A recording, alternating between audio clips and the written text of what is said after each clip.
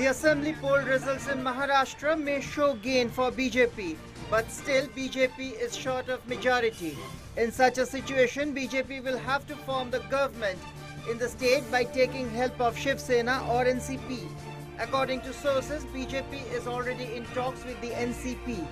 However, Sena is the second largest party in the state. BJP parliamentary board to meet today at 6 pm.